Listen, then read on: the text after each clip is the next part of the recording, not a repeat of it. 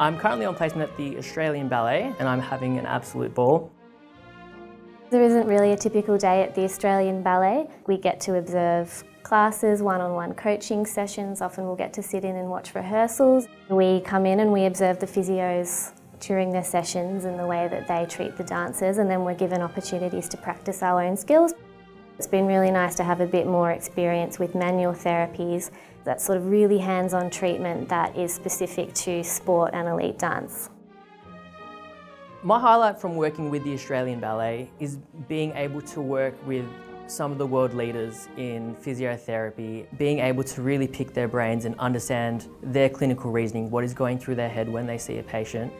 It is such a great experience to be able to work with such an elite sporting group. La Trobe gave us a really good basis of skills Having a really good understanding of the way that certain muscles work to coordinate different movements is really important in diagnosis and treatment of injuries.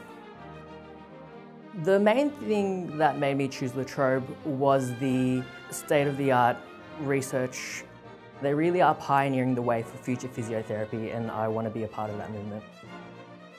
It's not often that you get to combine something that you've loved doing your whole life with your future career path, so it's been a really unique and wonderful experience for me.